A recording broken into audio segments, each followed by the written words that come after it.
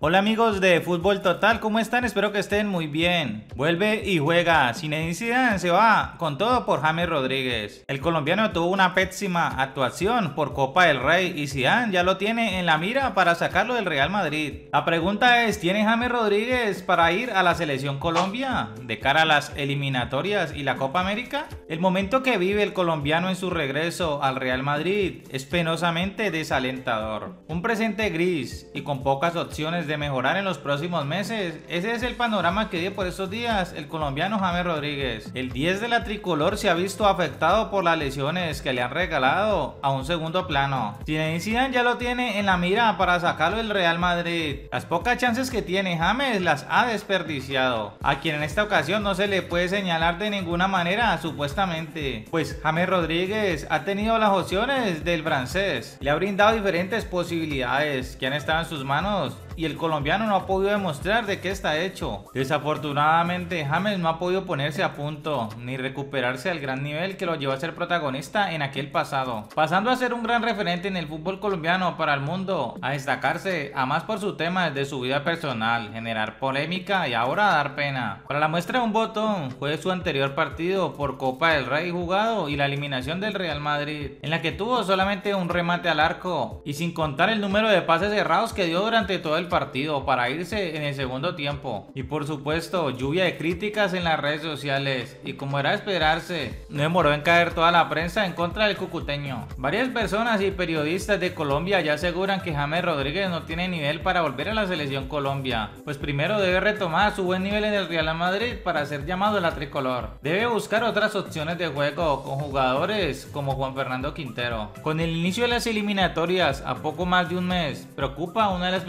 figuras del conjunto cafetero esté tan lejos de un nivel aceptable para ser tenido en cuenta. Aún más, si se piensa en el presente, otro gran referente y capitán del equipo, Radamel Falcao García que sigue marcando goles con la misma frecuencia en que se lesiona. ¿Y tú qué opinas del nivel futbolístico del colombiano James Rodríguez? No olvides dejar tu opinión en la caja. Dale me gusta al video, suscribirte a Fútbol Total y por supuesto activar la campanita. Nos vemos a un próximo video. Chao, chao.